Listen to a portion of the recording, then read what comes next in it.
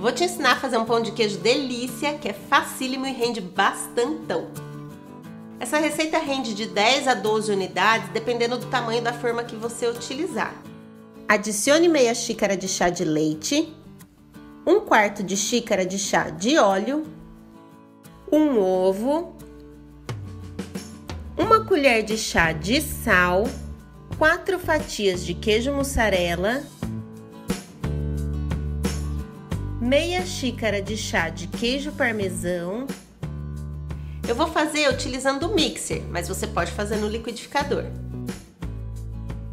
Meia xícara de chá de polvilho doce e meia xícara de chá de polvilho azedo.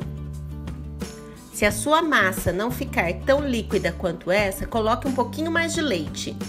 Eu uso dois tipos de polvilho. O polvilho azedo, ele dá aquela casquinha crocante por fora, dá o gostinho mais de pão de queijo. E o doce, ele dá a massinha por dentro, não deixa o pão de queijo ficar oco depois que assa. Então é importante usar os dois polvilhos. Compra já dois pacotes, porque você vai fazer essa receita muitas vezes mesmo, então não tem problema você ter na dispensa.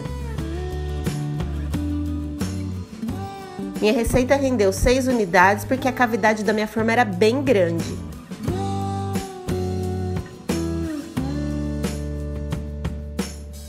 Agora é só levar ao forno que já estava pré-aquecido em 180 graus por aproximadamente 25 minutos.